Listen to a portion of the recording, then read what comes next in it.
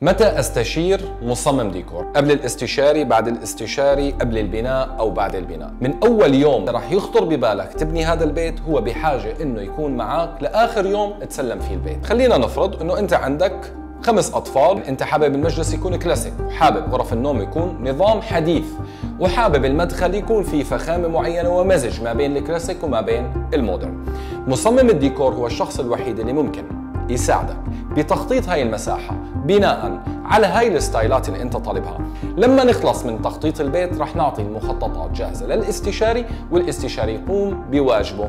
جمالية البيت بسبب الترتيب الصحيح من أول يوم أنت بلشت تبني في بيتك. فعندك خيارين.